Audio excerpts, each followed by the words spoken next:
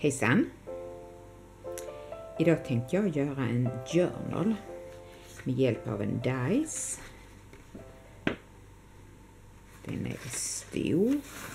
En sån där lång dice. Det är nämligen nytt år, 2020, och det är nya utmaningar i gruppen Mission Inspiration på eh, Facebook. Där är en huvudutmaning, men sen är det de här mini-missions också. Och jag samlar dem i en sån här. Minimissions tänkte jag, det behöver inte vara så stora. Så här är två år i denna här.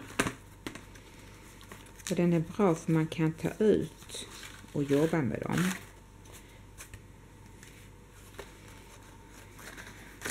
Så jag tänkte att jag fortsätter med det här stilen och samla mina missions på, mina uppdrag. Och sen tar de ju inte så stor plats. Man kan ju sätta, om man nu bara har ett år i dem, det här är ju två, så kan man ju ha dem i bokhyllan till exempel. Så det är vad jag tänkte göra idag. Och som sagt var, jag ska använda min Big Chat och jag använder denna här. Då ska jag göra min Travel Journal och använder då C6 Scoreboards XL heter den för den är sån här lång. Och det är Eileen Hull som har gjort den och den heter det Travel Journal. Och där är numret. Och man får de här delarna när man stansar ut. Jag är inte intresserad av dem så jag vill bara ha den och så vill jag ha den två gånger så blir det själva cover. Man måste ju ha någon form av stansmaskin och jag har en Big Chat. Och eftersom det är en sån här lång dice så är det väldigt mycket enklare om man har de här långa plattorna. Sen behöver man ju ha materialet man ska göra sin journal av. Och jag är nöjd med min chipboard som jag har på min förra. Så därför har jag två bitar chipboard, relativt tunn chipboard. Eh, själva dicen är ju 6 inch så jag tog ett 12 gånger 12 chipboard. Och så skar jag ner det så att det passar. Eftersom jag inte är intresserad av den biten så. Så. Och sen kör jag den genom min Big Chat. Och så återkommer jag. Så, då har jag stansat ut dem. Ska vi bara ta bort de här hålen.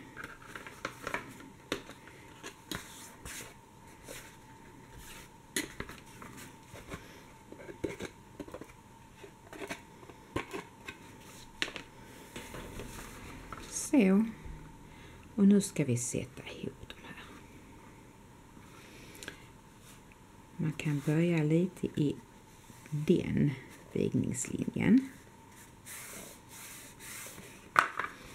Likadant i denna.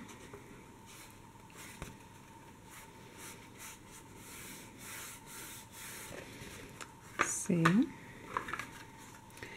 Och nu när man ska sätta ihop dem sätter man lim här.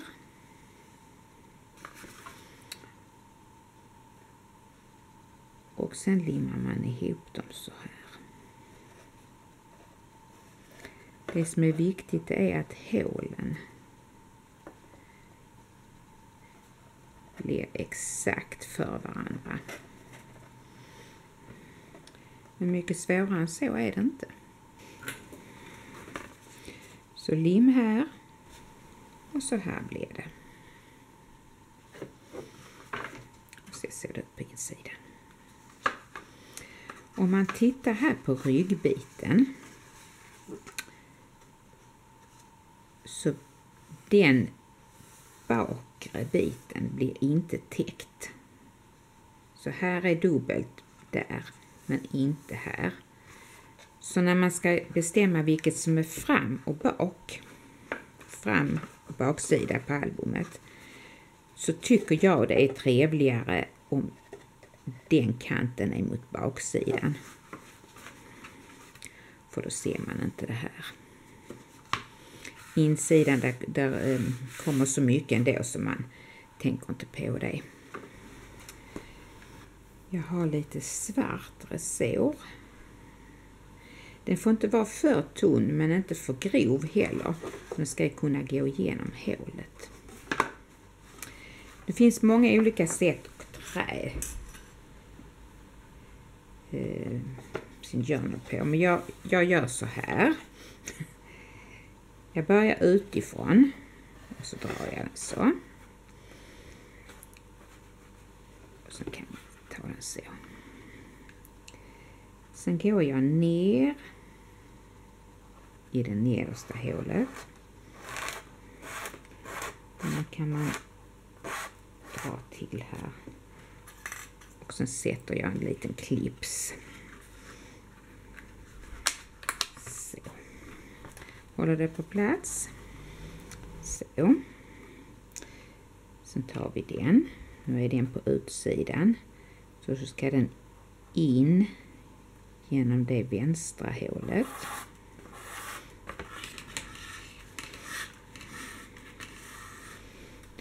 Och sen går vi upp till det vänstra hålet.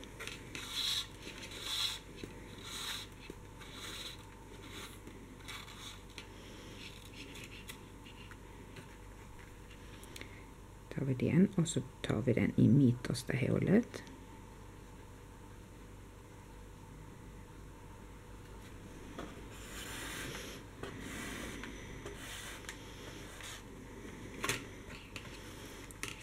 Så. Och så går vi ner i mittersta hålet.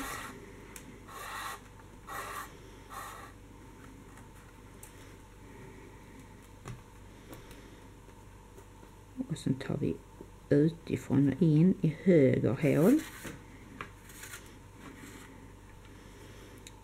Och så går vi upp till det högra hålet.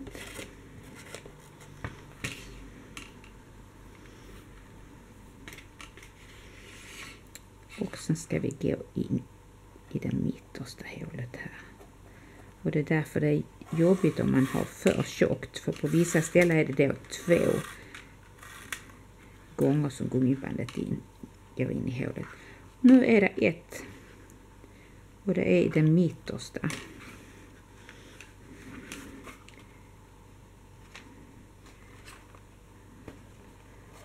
Så tar vi den på utsidan. Och då ser det ut så här på baksidan, eller på ryggen. Det ska ju vara sådär lagom.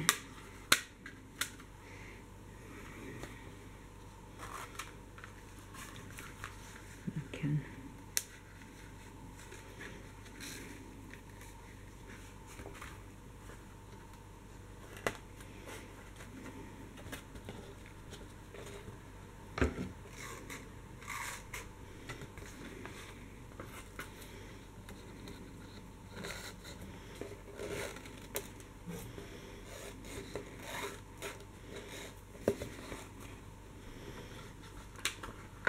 Alltså det ska låta lite så här. Jag tror jag det blir bra. Så håller jag där. Sen tycker jag om när man har det tvärs över och det räcker det till. Då slår jag en knut här. En eller två. Men på det här viset så kan man ju justera den också om det skulle behövas. Jag slår två.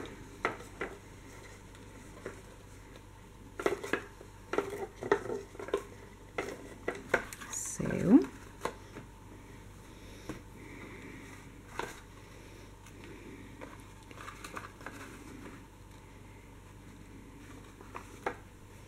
tror jag klipper av den där så länge. Men jag justerar inte själva stängningen förrän jag har gjort insidan, inserten, signaturerna. Då ska vi göra signaturerna, papperna, som jag ska ha i eh, min journal. Och jag har en packe med akvarellpapper som jag har köpt någonstans. Eh, men det är bara 200 och när jag gör med akvarell så vill jag ha 300. Så därför tänkte jag använda detta här för det passar jättebra till mixmedia.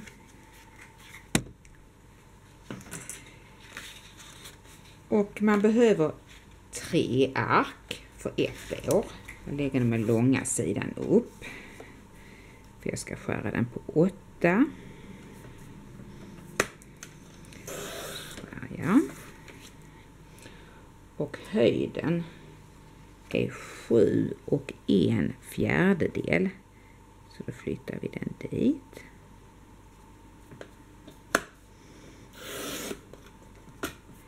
Så.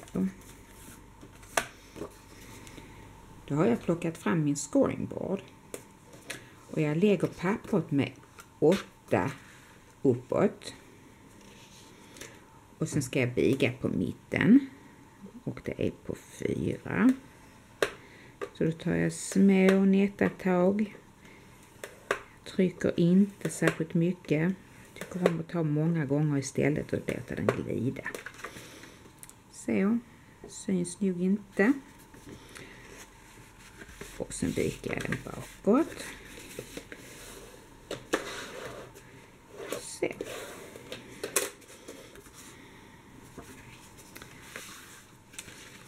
Då har jag mina signaturer. Jag gör tre och tre för då blir det ju januari, februari, mars, april, maj, juni, juli, augusti, september, oktober, november, december. Ett år. Två år.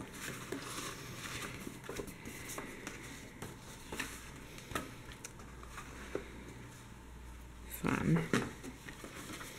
Jag sätter in dem nu så att ni ser.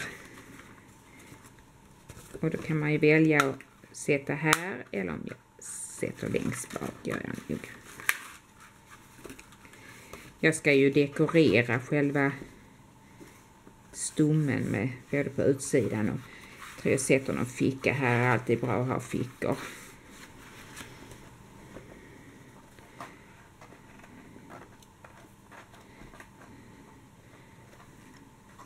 Där tror jag nu jag sätter den.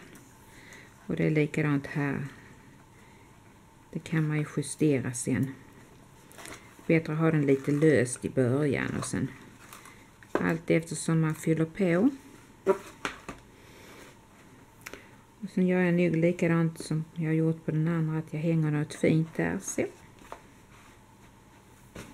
Men jag ska dekorera framsidan och baksidan. Så jag får klura lite på hur jag tänker göra det. Då tänkte jag att jag skulle göra min utsida och baksida. Och jag har faktiskt kommit på en liten idé. Får vi se om det blir snyggt. Det måttet tycker jag passar bra. Då blir det en liten kant runt om. Så 4 en fjärdedel gånger 8,5. Och så kommer jag till att runda de hörnen. Jag lägger undan den så länge. För jag kommer till att jobba på eh, samma akvarellpapper som är i min journal. Och jag har tejpat ihop den på baksidan. Så jag jobbar på ett. Och så tänkte jag faktiskt istället för färg och, eller spray så tänkte jag kan väl använda distresserna. Så om jag börjar med den blå, nu är det ju bakgrunden. jag tänker göra. Så det är väl bara till att jobba på. Och medan jag gör detta här så kommer jag till att sätta videon på snabbinspelning. Och så skriver jag på skärmen om det är någonting.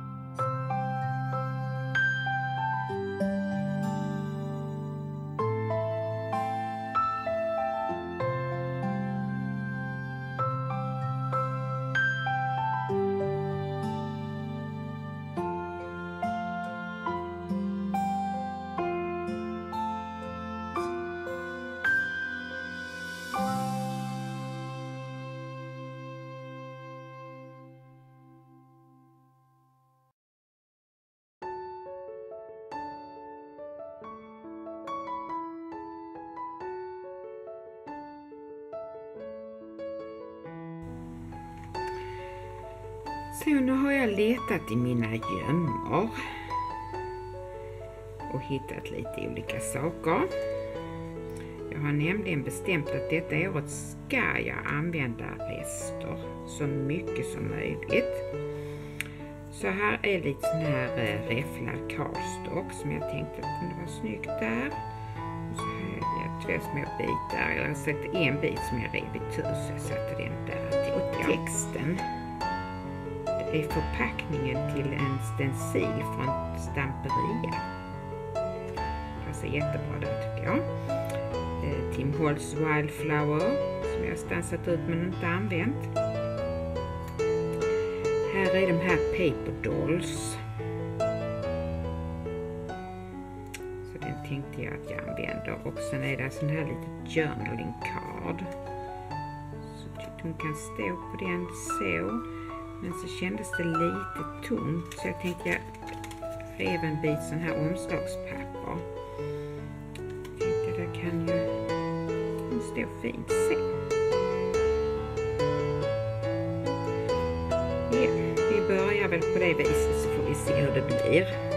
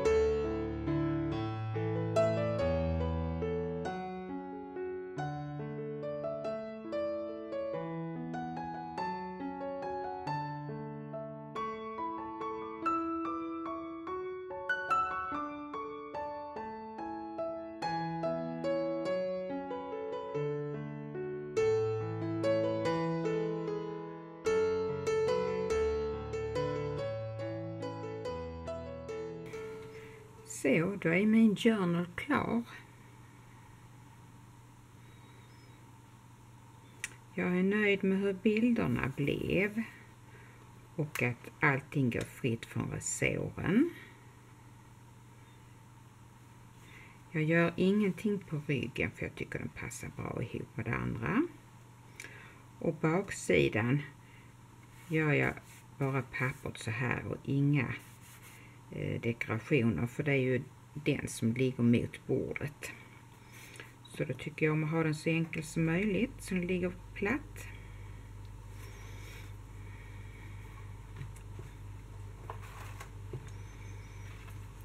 Då är jag redo för att fylla denna här med minimission.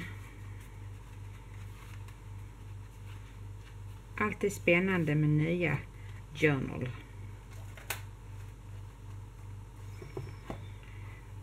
Om jag hänger någonting i den eller om jag låter bli, det har jag inte bestämt än. Så än så länge får den vara så. Så det var vad jag hade visa er. Tack för mig. Hejdå!